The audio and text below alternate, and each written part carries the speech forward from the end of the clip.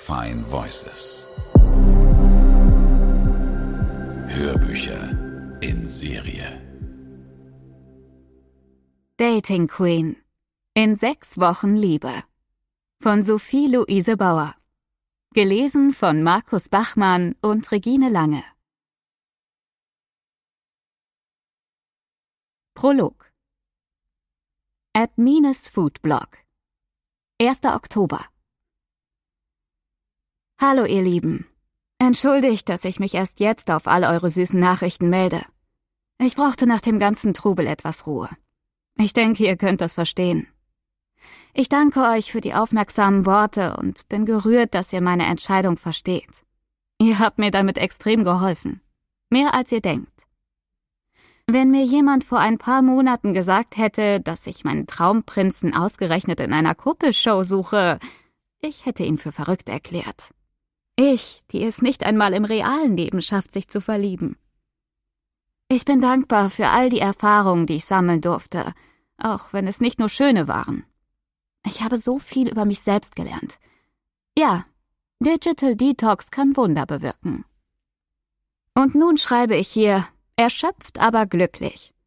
Denn dass ich mir bei meiner Suche nach dem Richtigen selbst im Wege stand, ist mir erst während dieses eigenartigen Abenteuers bewusst geworden. Wie krass. Dennoch ist das mein vorerst letzter Post. Ich verabschiede mich damit von euch ins wahre Leben und wünsche euch allen viel Genuss, ganz viel Real Life und dass ihr euch so liebt, wie ihr seid. Eure Mine.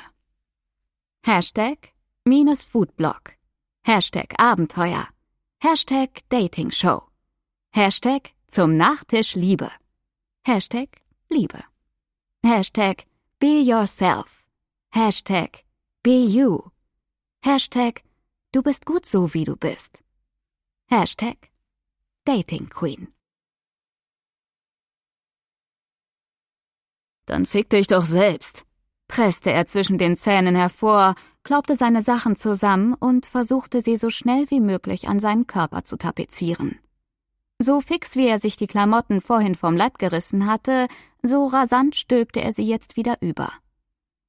Ich musste mir, trotz der eher beschämenden Situation, ein Kichern verkneifen, als er beim Weg in den Flur mit meiner Zimmertür kollidierte.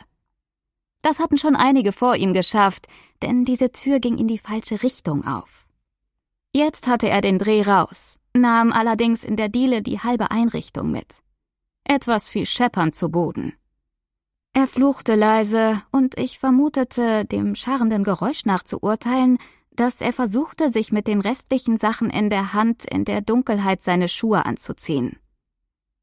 Was für ein dramatischer Abgang, der seinen Höhepunkt darin fand, dass er im Treppenhaus fast die Treppen herunterfiel. Zumindest klang das Getöse im Hausflur danach. Sollte ich aufstehen und nachschauen, ob es ihm gut ging? Ich lauschte. Dann sprang das automatische Hoflicht an und erhellte meine Dachluke über dem Bett für einen Augenblick. Er war wohl auf und ich wieder allein, mit der Frage, warum ich immer an die falschen Typen geriet. Ich wünschte mir nichts sehnlicher als eine Beziehung, eine feste, einen Menschen an meiner Seite, mit dem ich gemeinsam durchs Leben gehen konnte. Nicht falsch verstehen, ich kam gut allein klar, aber trotzdem vermisste ich jemanden an meiner Seite, mit dem ich meine Träume teilen konnte der mir morgens einen Kaffee ans Bett brachte, anstatt dieses mitten in der Nacht wutentbrannt und türknallend zu verlassen.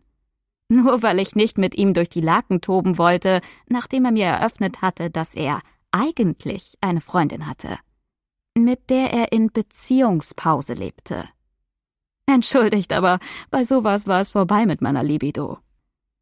Ich wünschte mir jemanden, der sich eine gemeinsame Zukunft mit mir aufbauen wollte keinen, der nach ein paar Wochen Spaß mit mir zurück in den Schoß seiner Freundin glitt. Ich zog meine Decke bis zum Kinn hoch und rollte mich darunter zusammen wie ein Embryo. Das war irgendwie tröstlich. So schlief ich oft ein. Jetzt war an Schlaf allerdings nicht zu denken, obwohl ich hundemüde war. Denn dieses immer gleiche Hamsterrad, in dem ich mich seit ein paar Jahren mit der männlichen Spezies befand, ermüdete mich machte mich traurig.